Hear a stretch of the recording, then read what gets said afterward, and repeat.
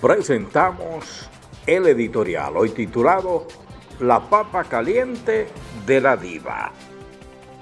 Desde que el presidente Luis Abinader asumió el poder, designó a Milagros Germán en la dirección de prensa de la presidencia. Decisión que para muchos fue un error debido a la complejidad del cargo. Y es que dirigir la comunicación de un gobierno es una papa caliente. Papa que en muchos casos la diva no manejaba.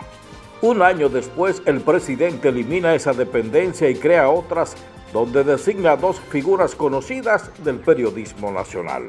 Ahora Homero Figueroa es el nuevo director de Estrategia y Comunicación Gubernamental bajo la dependencia del Ministerio Administrativo de la Presidencia con la función de coordinar la ejecución de las políticas de estrategia y comunicación del Poder Ejecutivo.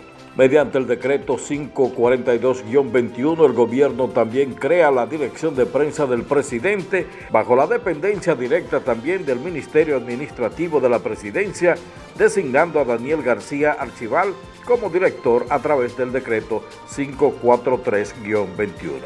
Creando un equipo pesado, el presidente le agrega otros ingredientes a la papa caliente de la diva, que ahora pasa al Ministerio de Cultura, donde hay una brecha más amplia para el entretenimiento.